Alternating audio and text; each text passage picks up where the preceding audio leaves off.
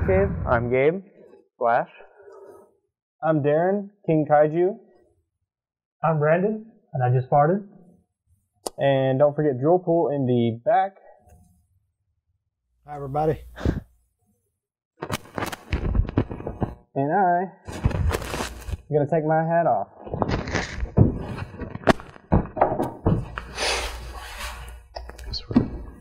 Good job. And before we get started, um, I want to do a little segment from our sponsor here.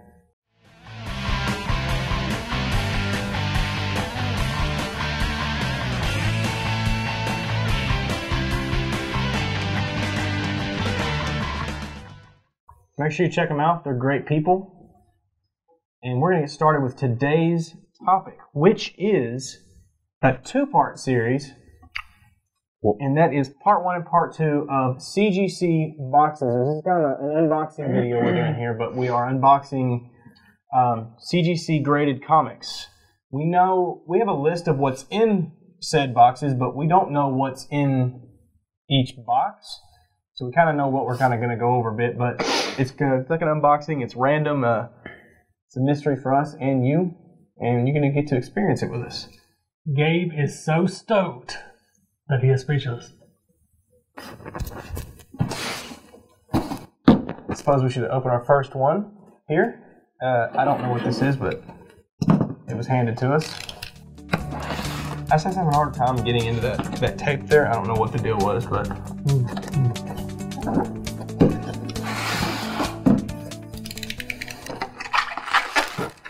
All right, so this uh, the first box here is actually just one, so I'm, I'm assuming it's important. Is a Really? well, I really don't know, but it's, it's one graded comic in here. Um, I probably have showed what it was. I did not actually. This is a piece of. Okay, all right, all right, yeah. It is the the Marvel Marvel Fumetti Fumetti book, starring Stan Lee. Stan Lee. Iconic Stan Lee cover. This is like a like a 80s TV or 70s TV show, like starring the cast, I guess, of Marvel. I don't really know. I mean, you Cast. got Yeah. with a ton of artists. Uh, the who's who of the 80s I didn't know Marvel was a show. back at Marvel. It's not. I mean, you got Chris Claremont. Uh, uh, there's like Roy Thomason up there. I can't really tell. Uh, Simonson, uh, John Byrne, Jim Shooter, Barry Manilow, Al Milgrom, David Cockrum, uh, David Smith? I can't remember. Uh, Denny O'Neil. I mean, just a ton of, of, of cool artists. It's really creepy looking face here. Yeah, that creepy uh, Hulk. Um, it's a 9.2. It's a pretty good grade. Oh yeah, definitely. I don't know why it's you know it says Stan Lee. I wish they could have had a box to the side that says Excelsior. Yeah. Yeah, Well, it said Stan Lee, so you, you know, like the rest of them. yeah, you can just imagine. Well, that's You- pretty cool. Well, Brandon, you can imagine Excelsior on the side. I will. Yeah, I will too. What's on the back? That's all, folks. Looks like some Marvel employees uh, making a human pyramid. I should have had somebody on top. It's a bit of a disappointment Yeah, there. a bunch of douchebags. All right, let's go. Okay. See the next I one. actually really like that cover there. It's kind of out of the box. Haha, literally. Um, this was a little heavier. You know, Brandon, some people ask, when is this over? What are you telling them? It's over when it's over. It is over when it is over. So we're just gonna go with these in order here. Start the closest to me. I don't know if you can see that or not, but It's it's quite a large box.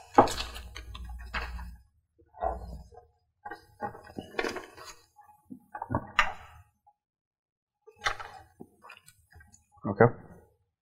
okay, this is um. Oh wow, I did not know that. All right, so I was expecting the Twilight Zone to Be a full comic. Yeah, be a full comic. I didn't know it was that small. Um, really cool, actually.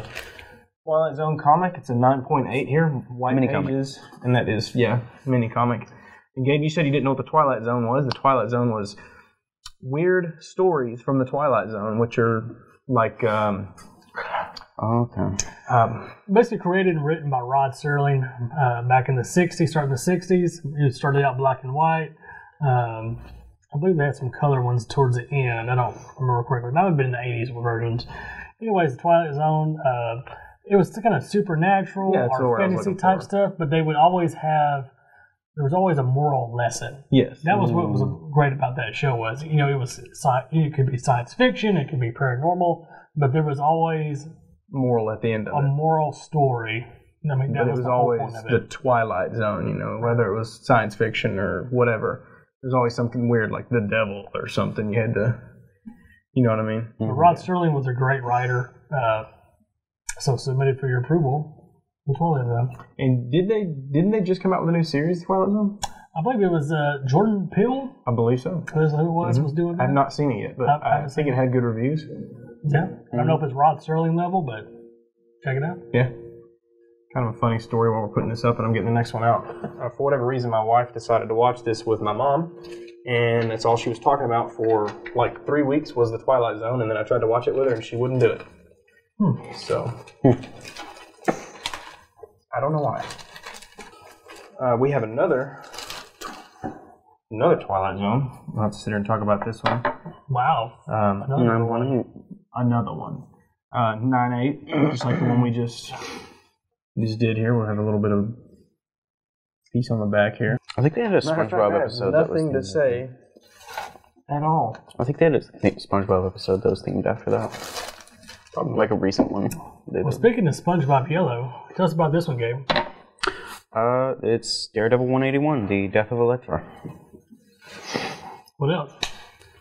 What is? That's that's what I know about it. That's what you know about it. Yeah.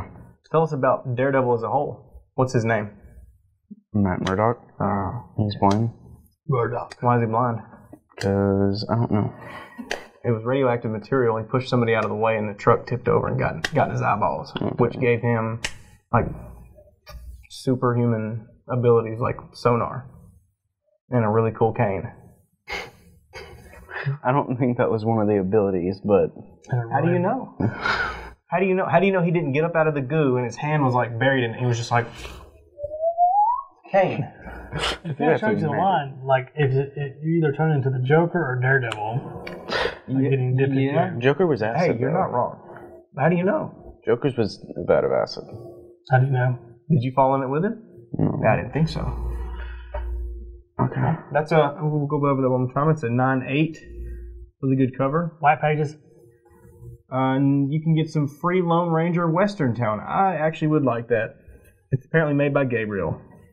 Oh, I would like that. what a coincidence. Yeah. I can't. You need give to get you. busy. I can't give it to you. Let's go, Gabe. We're sold out. Well, uh, you need to unsell out because I want some Lone Ranger toys. Stop. Stop selling ASAP. out. I, I can't do it. Stop selling out. Let's make that happen. Stop selling out, dude. We also want to thank our sponsors, Rosson Phillips Group. Oh, this is pretty cool here. It's a um, Ripley's Believe It or Not. It's a.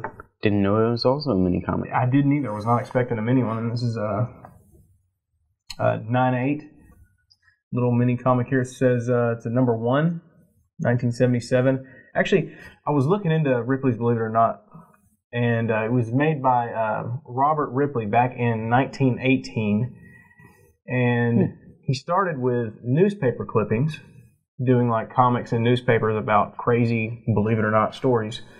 Um, and that I believe he's from L.A. or San Francisco, I can't remember, but he was in Chinatown, and they were telling him these crazy stories, and that's where it started with. And he went from that to making books about it, but the books weren't as as many, so he started making little comics about it. And um, I see this as number one, but I actually couldn't find what number one was. So I guess we're looking at it, but I thought for whatever reason it was before 1977. I've been to a couple of those museums. It seems like it's the same stuff in every one. So some of it, it even says replica of Yeah, the actual, right, right. actual deal. It's interesting. Tell me you have 10 shark heads just laying around? Yeah. But I think it's a pretty cool, pretty cool little book here, and it's a certainly a pretty cool little. Uh, it's a pretty cool place to go to if you you're near one. Let me have some like knights here, some Templars, I don't know, something. True ghost stories. Believe it or not. I just smack that on the table. Good job. And we Drops it down a few grades. 9.8 Ripley's Believe It or Not. Sweet. Number one. This one actually looks in better condition. I don't know if it's just the, uh, the White pages. they- It's probably it's probably the scratch that you put on there when you back when you No, bang. I bumped the corner. I did not Yeah. bump. Yeah. Watch okay, it. Watch well, CGC, CGC. We'll have to reorder it. Mini comic with white pages. Uh, nine eight, same one we just opened. We have uh, another 9.8 Twilight Zone. Where did we find these at? How do? Okay, so I, We need to go back to the back and ask Drill Pool where he got these. please leave Drillpool a question in the back. Where does he find so many Twilight Zone? Does he get them from the Twilight Zone and then bring them back to us? How much cereal did you eat from the seventies? Why did you keep the cereal from the 70s and did you just eat it recently like, to get those out? Were those in cereal boxes? Uh, I've seen comics like that from the seventies that were like that, but they weren't Twilight Zone.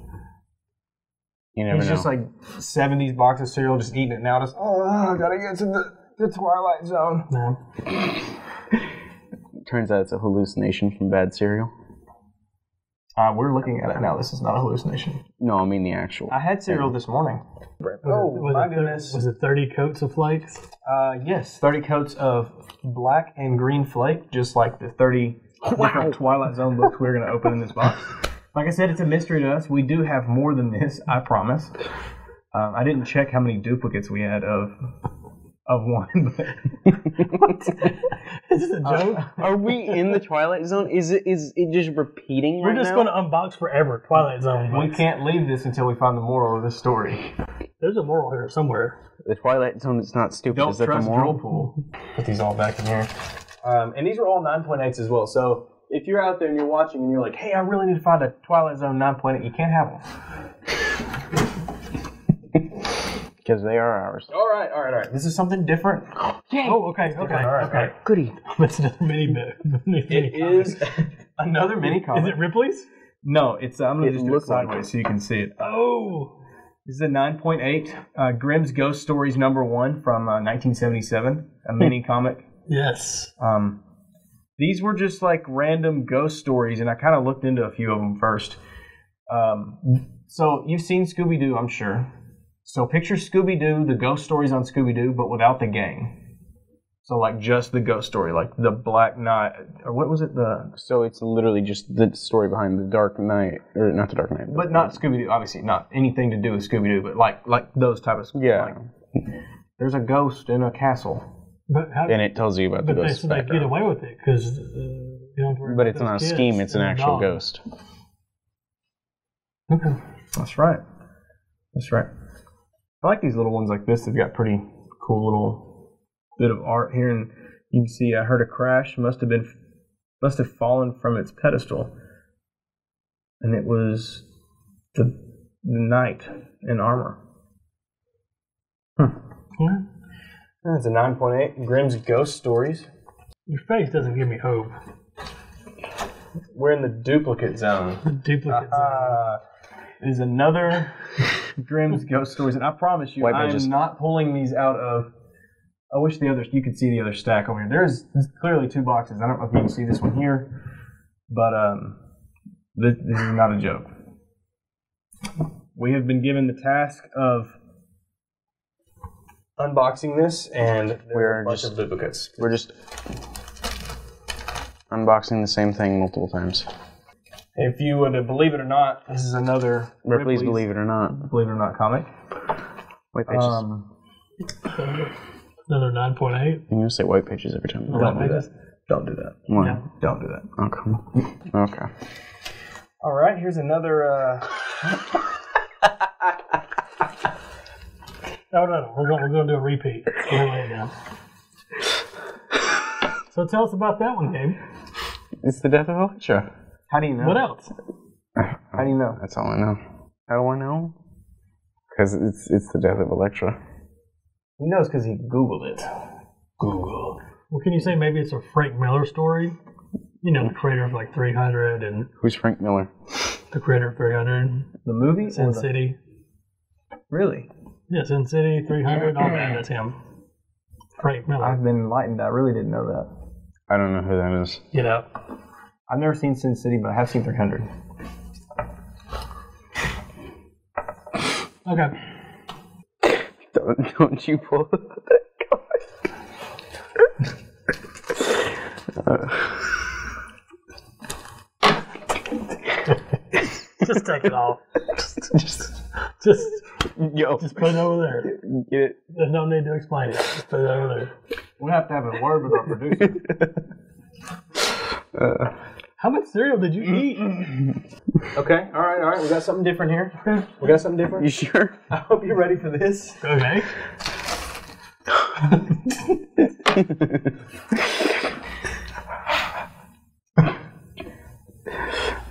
Explain, explain to me what is so different. Explain yourself. Oh. No. Oh, no. yes. Stop. yes. This is the fun zone.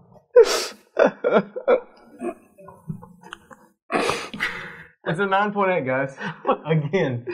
And and What it's white going pages. on? It's, it's white pages. All right. And I'm gonna tag out. before we're done, I really am going to show you that this is not us just pulling these out just for jokes. I'm putting them all on the table. Quite well. Is This it Ripley's Believe It or Not? No, it's not. Is It's, it Grimm's Ghost? no, Is it it, Daredevil? it's an OMG horror anthology. Oh. This is one of the uh, coronavirus canceled ones. We've talked about this several times. With we actually had, talked about it with Rob on the live video. If you watched it, Brandon, did you watch it? I was there. You witnessed it firsthand. Yeah, that's right. Number 21. Witness me. Witness. Anyways, um, yes, number 21 out of 150 will be forever immortalized in this piece of plastic. Yeah, I like how they uh, gave us a qualified grade because it's an artist proof. 21 out of 150 because it was wrote on there. First Prince of Gabe's Cave. Yes, it is. And who else? Gabe's Cave. I, I said that. Who else is the first Prince of? Mm. Well, it's in parentheses, but it's Gabe Rosson. Oh. You have a first appearance in comics? I mean, I don't. I'm not literally in it, but I mean, you should just like sh- take that it's- comic it's- with you It's my name. when you go back to school. Just carry that around with you and show it to the ladies. No, I'm good. You need to get me my my Lone Ranger toys. I don't have any more. It, it was Lone Ranger City or town. No. Oh yeah, oh yeah. Believe it or not, buddy, it's another nine point eight. um. Oh yeah, I'm not Oh gonna my take this out of gosh. plastic because it's another one. Again.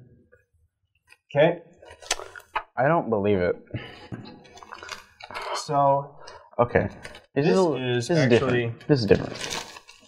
this one is different. Okay, so this Slightly is different. Another OMG horror anthology, but this one is not one of the Corona ones. Which how many did they make that were not stamped? 10. Ten. Ten. that were not stamped. A ominous voice from the uh, the other side, the Twilight Zone, uh, told us that it's ten, I don't know if he's inside or outside, but and it looks like this cover was done by Tone, our good buddy Tone. Rodriguez. This is number 13 out of 150, but this is one of the 10 that were not, uh, one of the 10 that were not stamped with the coronavirus. it's another Gr- Grimm's ghost story, 9.8. I'm tired of these. Uh, and this one here is a, um, believe it or not, it is another Ripley's, believe it or not. Like to speak to your manager. Uh, it's a 9.8. We're gonna Karen him. Yes, we are. I'm going to save that one for last. Um, we have another horror anthology, number 22 out of 150. What was this other one? This is a duplicate box. This other one was 21, so we have 21 and 22. This is one of the canceled versions. Nice. Um, if you would believe it or not, that's a ghost story. Then there is a. Oh, let me do this first. There is a another horror anthology This is number 19 of 150. This is another one of the 10 that is not stamped. Not not watermarked. Not watermarked. There you the, go. Uh, canceled because of coronavirus. 9.8. I believe this whole box is 9.8. Maybe one that was not. But for the finale of the box, we have a Ripley's Believe It or Not 9.8. With another Grimm's Ghost Stories 9.8. And now that we are leaving the Twilight Zone,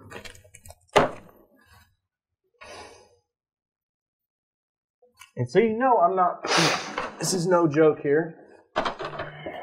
Pull these. We're just going to do a little Stacks. Twilight Zone. These are Grimm's. Both Grimm's. Ripley, Twilight. I'm pretty sure there are at least two of everything here. Twilight Zone. Uh, Ripley's, Grimm's. We gotta see who won though. And Ripley's. So we go. Twilight's we got six, Seven. seven. We got over the Brandon. Six. Ooh, Ripley's Believe It or Not won with seven. And I think they're all 9.8s. All nine point eights. pretty solid collection of 9.8 tiny comics from the 70s, and they're all from 1977, if I'm not mistaken. Mm-hmm. Must have been popular then. Uh, they're probably all produced by. Same guy. Western Publishing. This is Ripley International, and this is uh, Cayuga Productions. I think they had something to do with each other because the books all look the same. Yep. Yes, I know Western Publishing had a lot to do with uh, the Whitman, uh, the Whitman versions of comics. So it might have been a Whitman type deal. Or or a cereal box. They all Because could they have been in cereal boxes. Go. Because if you see overhead here, you can see that they're all Coloration. Well, no, they have the, the box and then the, the dual, yeah, the box with the dual tone there, and they're all the same size. Yeah. All 1977. But they all have different publishing. No, that Western Publishing, Western Publishing. Yeah, Western. Yeah, I was reading the the. Uh, well, Yeah. I think that's all we have for this unboxing. We have the part two. Um, I know is different. Soon. There is a lot of different ones in that one. I think this was just the duplicate box, and hopefully we don't see another Twilight Zone. Please. Um, Believe it or not, believe it or not, we might see another Twilight Zone. uh, maybe some ghost stories. That would be very grim. Um, yeah. Let's move these because we have something else to do. I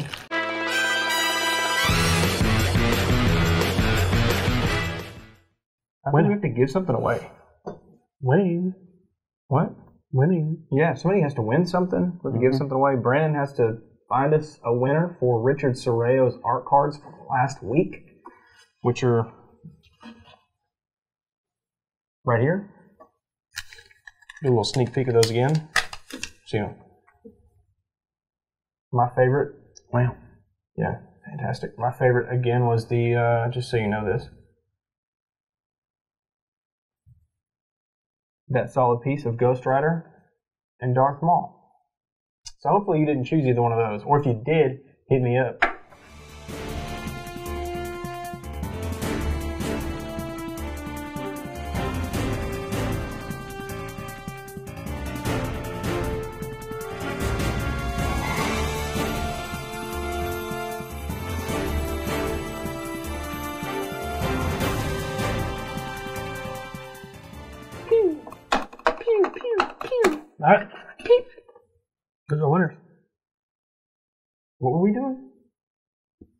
I don't know. The winners are this one, this one, and mm. Gabe's Cave Consolation Prize. Dead last. Still win something either way. Why Yeah. do they win something? Bad, bad, bad answer. Bad answer. Yeah. Anyways, we're gonna give away. Because we chose to have it like that. no, Gabe, because we want people to win. Yeah, we chose to have people win. That's why they win. No, Gabe, we want people to win. Even That the people too. who lose win. That's right. Yeah. You're all winners. except Gabe. now we're gonna do this week's artist spotlight.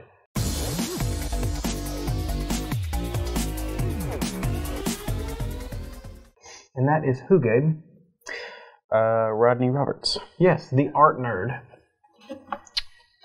While Gabe is getting these unrubber banded before you sit him out there, you can check him out on Facebook at Rodney Roberts and um, on Instagram at the Art Nerd with two R's in the nerd. So nerd.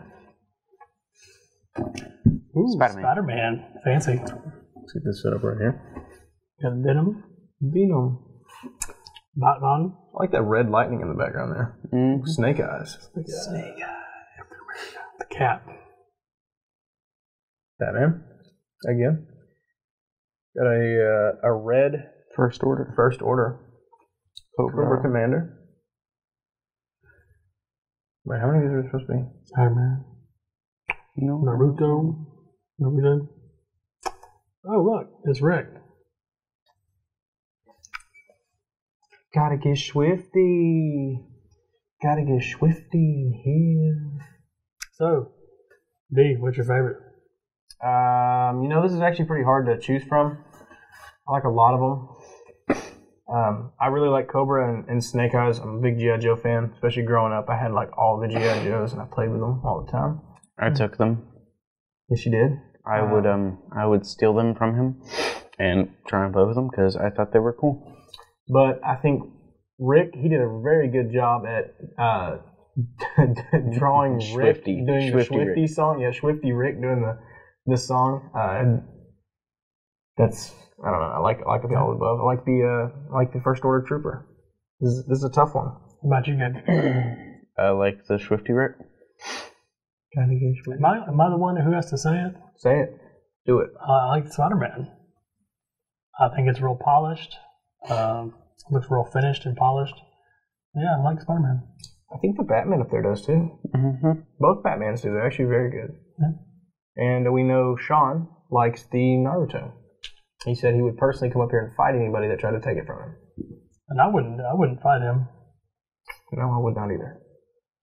So, if you want to win one of these, uh, these cards done by Rodney Roberts, make sure you leave a comment below stating which card you want, and we will try to choose you in the next video.